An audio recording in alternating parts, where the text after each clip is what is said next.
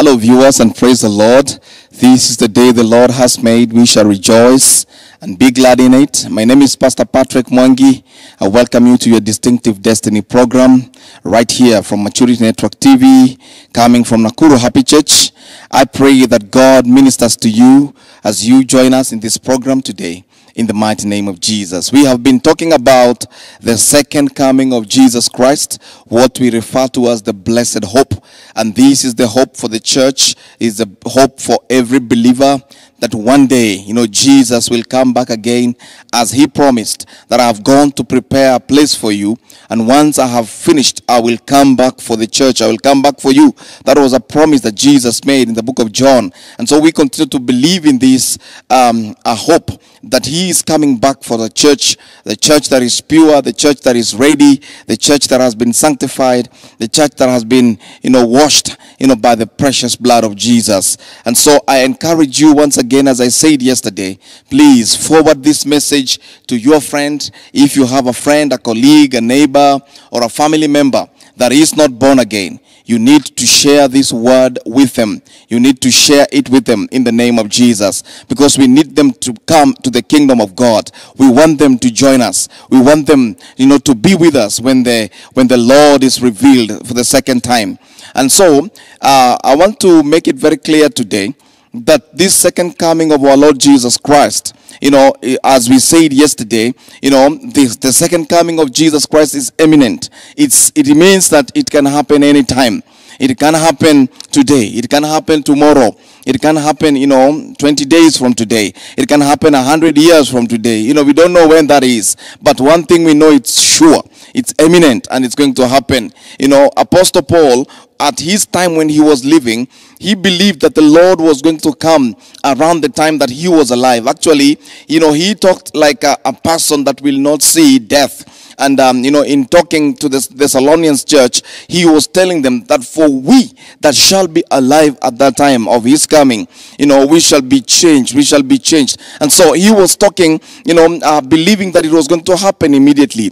But, you know, many years have passed on and Jesus is still coming. And we continue to believe in that. That's why we call it the blessed hope. That we believe that it does not matter when that happens, you know, and it is not in the knowledge of anyone, not even the Son. Only the Father in heaven, you know, is in control of that. And that is going to happen. So that means then that we need to get ready all the time. We need to be prepared for the second coming of our Lord Jesus Christ. Now, his coming, you know, is what, uh, for the believers, is what we, we refer to as the rapture of the church. And this term has been used a lot. Of course, this is a wonderful uh, experience that's going to happen. It shall be horror for many, but it shall be wonderful for the believers. You know, for the people that do not know Jesus, it's going to be a horror because people will leave this earth. People will be taken up, what the word of God calls to be caught up together, you know, in the skies people will be caught up. But and and you know all of a sudden you know people will disappear. And they will be taken up with by jesus. This is what we are calling the rapture. And that is going to happen. And immediately after the church has been taken then the next thing that shall happen is what we know as the the tribulation the great tribulation. And my friend you don't want to be at that time when there will be a lot of problems that will be taking place. The world will be going through a lot of turmoil. You don't want to be living at that time. You don't want to be left behind. You don't want to be the person that has been left behind. If you are born again, and that time comes and you are left behind, it is going to be very disastrous for you.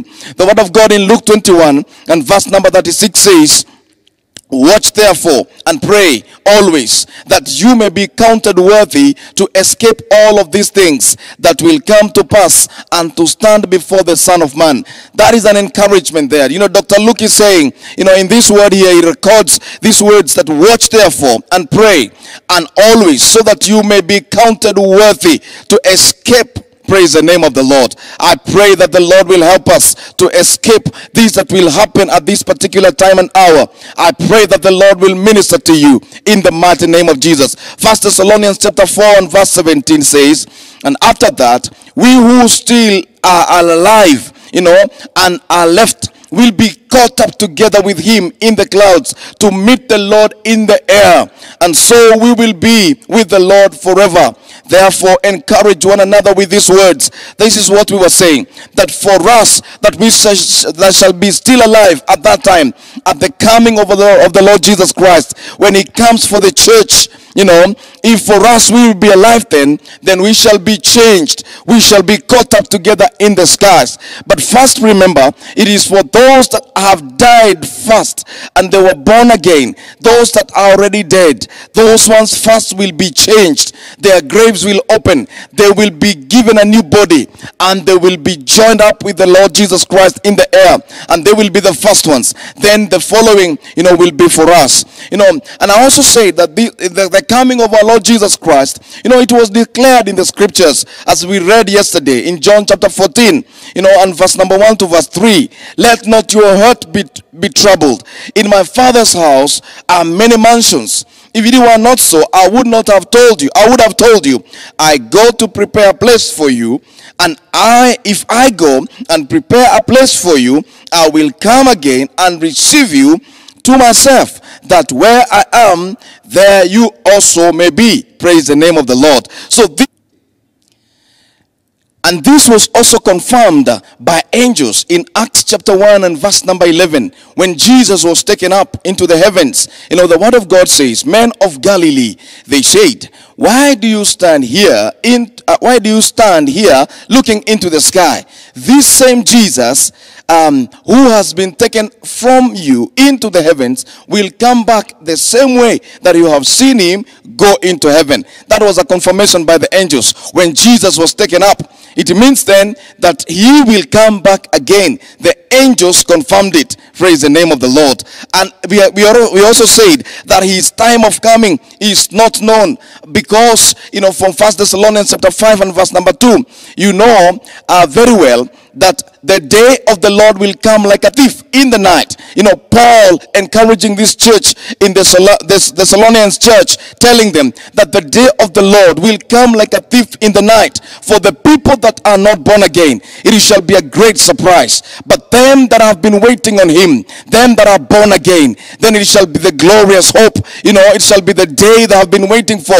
The Lord will change them and they will be taken up into the heavens. Praise the name of the Lord. Matthew chapter 24 and verse number 36 all the way to 42 says, But about that day or hour no one knows, not even the angels in heaven, nor the Son, but only the Father. Hallelujah.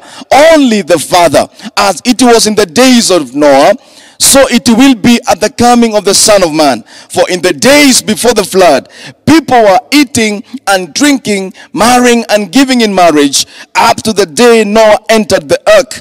And they knew nothing about what would happen until the flood came and took them all away. That is how it will be at the, at the coming of the Son of Man.